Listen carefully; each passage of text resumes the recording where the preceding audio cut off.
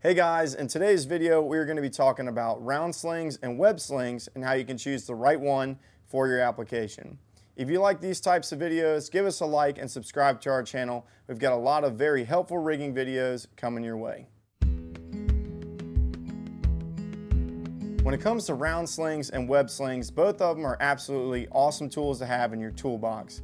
They're lightweight, they're very easy to stow, and they're also very strong. But you want to make sure that you select the right one for your application.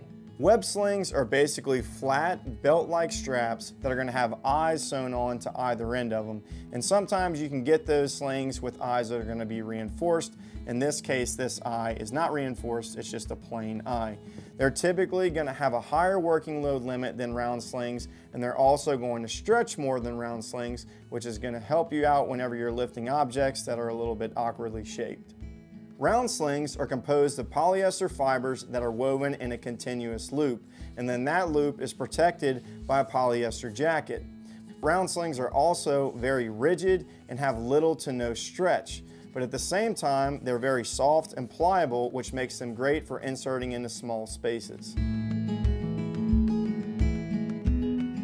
So why would you buy a web sling? Well, first and foremost, Web slings are very dynamic, they're very strong, and you can use them for a wide variety of applications. But where they're going to specifically shine is in cases whenever you need to try and keep that load level. And since it has these two eyes at either end of the sling, you can have two attachment points, like say for a forklift, you can attach one eye at one side and one eye at the other, keep that object level.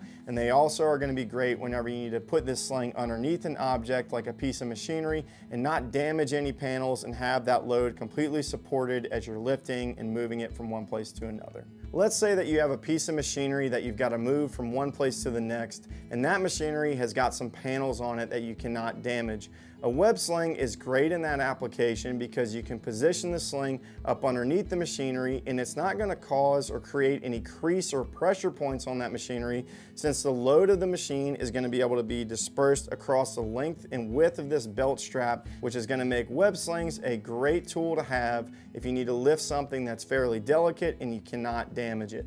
The only real cons to using web slings is that if you do have an application with something that has a very specific attachment point, like say a shackle, a web sling may not be the most ideal sling to use. And the other thing is that since all of these polyester fibers are exposed across the entire length of the sling, it's gonna be a lot more prone to abrasion. But other than that, web slings are absolutely awesome to have and they're great to have in your toolbox. So why would you select a round sling? Well, round slings are absolutely awesome in cases whenever you have a very specific lifting point. So like let's say that you need to lift up something that has a shackle attached to it or even a piece of machinery that has a designated lifting eye. For example, let's say that we needed to lift a box and that box has got a 90 degree corner on it and our sling needs to be underneath that box. A round sling is going to kind of dig right into that corner and it's going to cause a crease point which might potentially damage the box. So when it comes to your specific attachment points, a round sling is going to be the way to go.